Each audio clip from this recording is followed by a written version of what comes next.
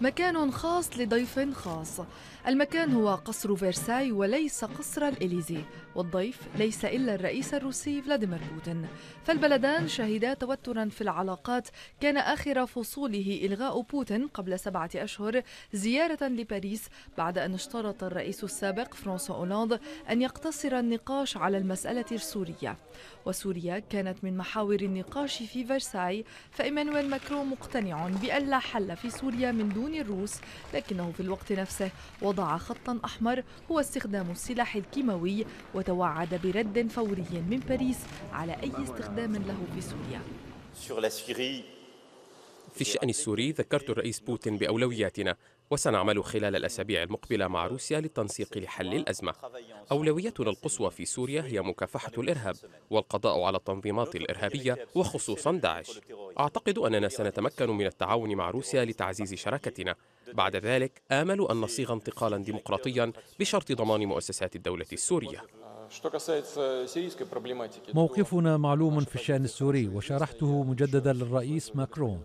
أساس موقفنا أنه لا يمكن مكافحة الإرهاب عبر تدمير دول ذات سيادة تواجه أصلا مشكلات داخلية. لكنني متأكد أننا سنوحد جهودنا ضد الإرهاب ونحقق نتائج إيجابية. في الشأن الأوكراني أيضا اعتبر الرجلان اللقاء خطوة أولى وأعرب ماكرون عن ضرورة توسيع المشاورات لتشمل ألمانيا وأوكرانيا أي ما يعرف برباعية نورماندي. ماكرون لا يخفي أنه يريد التنسيق مع ألمانيا بشأن روسيا لكن ذلك يبدو صعبا لانعدام العلاقات بين المستشارة الألمانية وروسيا.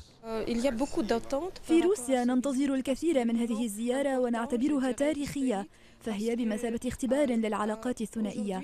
هناك مصالح كثيرة مشتركة ولا مجال لإضاعة المزيد من الوقت في الخصام.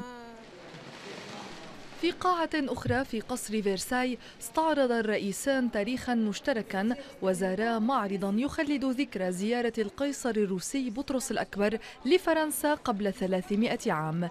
زيارة اعتبرت حينها بداية للعلاقات الدبلوماسية المستقرة بين البلدين ورمزا لانفتاح روسيا على أوروبا الغربية.